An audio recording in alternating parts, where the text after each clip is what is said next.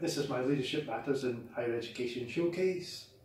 Basically, I'm just going to cover a, a few pointers, uh, an outline of some of the things I tend to cover in my, my final submission for the module.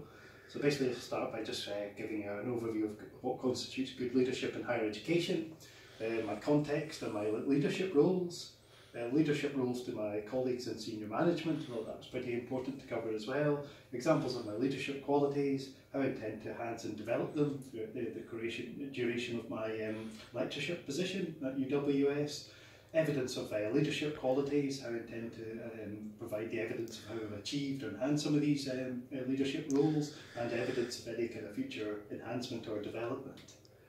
So what constitutes good leadership in higher education? Basically there's a multitude of views in the literature which I'll be exploring in the fi my final submission. Um, leadership in the context of HE is, is one, one view it's focused on relationships, so hence there's the linkage to this concept of uh, distributed leadership, which is a model used extensively in, in the UK higher educational system.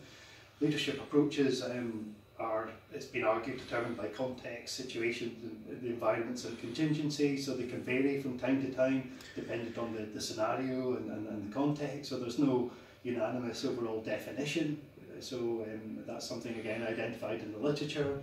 So one of the key issues or, or, or um, views was that flexibility and adaptability is pretty pivotal in, uh, in terms of uh, context, uh, leadership in higher education. So my, my context and leadership roles, um, the year two, I'm year two leader for computer games development, also module coordinator for various modules, including computer games design and level design.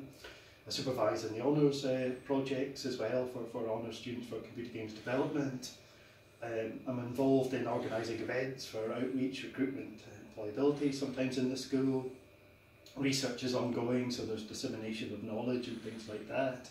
Um, publications, currently researching about VR in, in higher education. So leadership roles to colleagues in senior management, uh, predominantly these relate to things like curriculum and pedagogical change.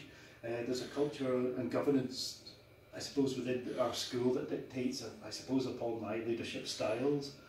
Context is important, obviously, dictates, um, you know, how, how I uh, dictate my styles and, and, and leadership and things like that in terms of leadership.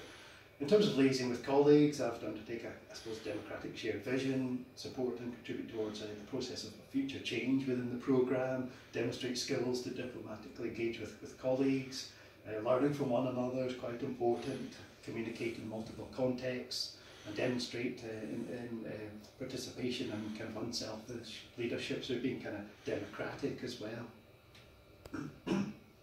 so examples of leadership qualities, these are just some I briefly identified in this diagram. I'll explain these a little bit more in my final submission.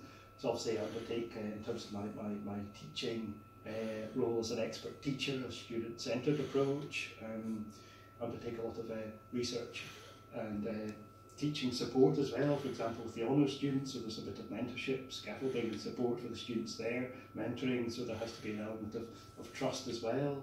Constant communication is pretty important with uh, students and uh, colleagues as well. Uh, a facilitator kind of role, um, forward moving and thinking, progressive, innovative, creative, that kind of thing. I suppose uh, an open door policy, um, you know, you're willing to, to speak to, to colleagues and students as and when required. You're maintaining and adhering to professional standards and trying to evolve and improve, improve yourself in, in that respect. Uh, just being flexible to changing circumstances, um, uh, as they, they often, you often have to adapt to things in the, higher educational sector, the changing environment, that kind of thing.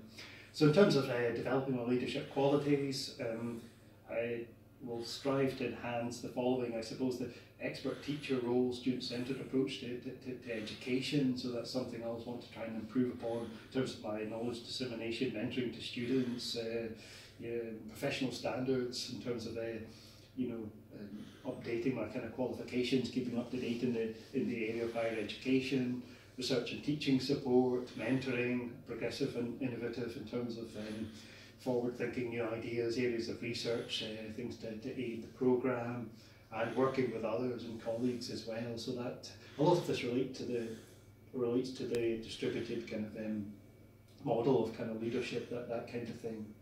evidence, I suppose, of qualities. Uh, I suppose your basic things like your module evaluation questionnaires, national student surveys, potentially if you get any Star Award nominations, of which I've been, I suppose, occasionally fortunate in the past, uh, honour supervision, recognition for that, uh, hopefully passing this module, fingers crossed in that respect, uh, research outputs to inform and enhance teaching the programmes and kind of researching something related to virtual reality, Evidence of future development, I suppose, really is to, to continue to enhance my modules, um, pass rates, MEQs as I've mentioned, innovative teaching and learning approaches. So again, these things I'm constantly re-evaluating, virtual augmented reality.